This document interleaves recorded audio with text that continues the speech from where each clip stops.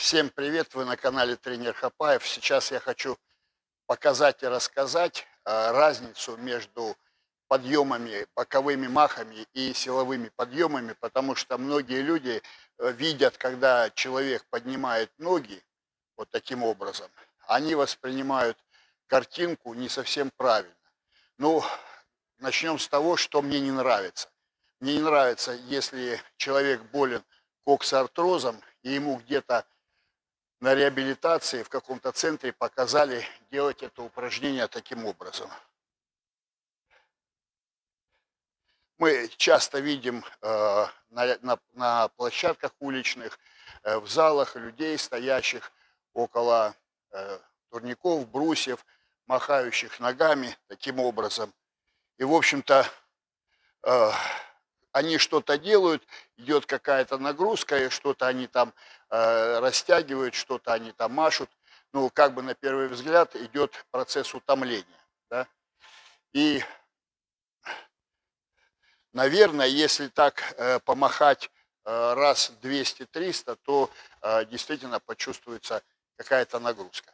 Давайте мы усложним эту задачу и постараемся правильно включить те мышцы, которые нам необходимы.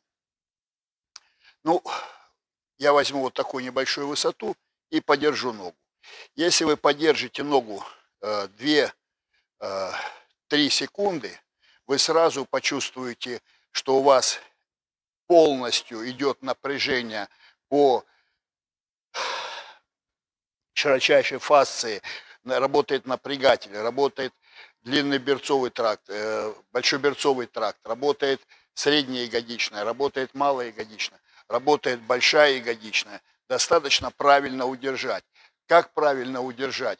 Чтобы еще и квадратную мышцу зацепить, которая является болезненной для коксартрозника, которую, которая остановилась в своем развитии. Она не растягивается и не сжимается.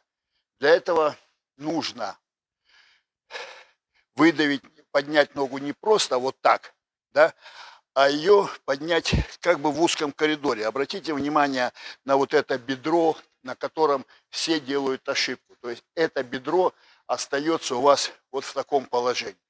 То есть вы видите людей, которые не, неопытно делают эти махи вот таким образом. Отклячив таз назад и делают вот такие маховые движения. Устают, ходят по стадиончику и опять делают такие движения. Значит, все поменяли, сейчас по-новому делаем, выдавили. Вот как вы стоите ровно, то есть это имитация э, той же вертикальной стойки. Вот вы стоите ровно бедро, и это же ровное бедро вы поднимаете. Обратите внимание, что э, стопа у меня на, как бы на внешнем ребре. То есть вот если я встану на внешние ребра стопы, то также я и поднимаю. И вот я сразу чувствую вытяжку по всей ноге. Делаю движение раз, два, три, опускаю. Раз, два, три, опускаю. Раз, два, три, опустил. Но чтобы подключить еще квадратную мышцу, поперечную мышцу, косые мышцы живота, ну здесь они немножко второстепенную роль играют, я ни в коем случае не должен куда-то отклоняться.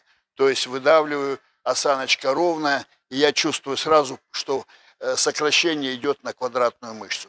И тело я не заваливаю. Знаете, вот это глупое движение вместе с телом. То есть это абсолютная ересь, абсолютная нелепица, когда непонятно для чего человек делает вот эти упражнения. Какую он мышцу тренирует, на, на опорной ноге или на э, двигательной ноге. Поэтому здесь нужно четко соблюдать вот эти правила, и тогда вы от этого упражнения получите э, вот этот стопроцентный заряд ягодичной, средней, малой, большоберцовый тракт, и почувствуете работу всех вот этих мышц в полной мере. Очень важно еще, чтобы опорная нога стояла не развернутый носок, а немножечко под уклоном. Можно в лучшем варианте вообще пустить носок в противоположную сторону и делать вот такие движения силовые.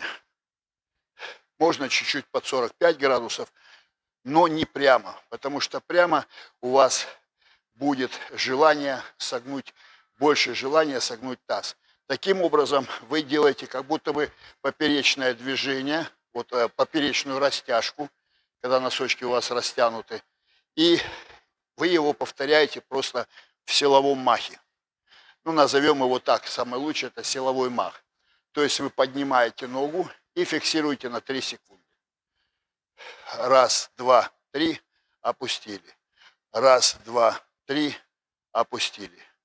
Раз, два, три, опустили. Чтобы еще лучше было понятно это движение, заведите руку назад и поднимайте. Раз, два, три.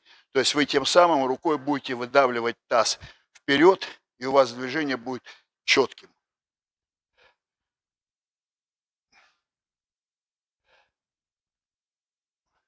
Все. Нагрузка пошла прямо в сустав, прямо в окружение тех мышц, которые защищают ваш сустав, э, дают ему баланс, стабилизацию, э, дают ему кровонаполнение.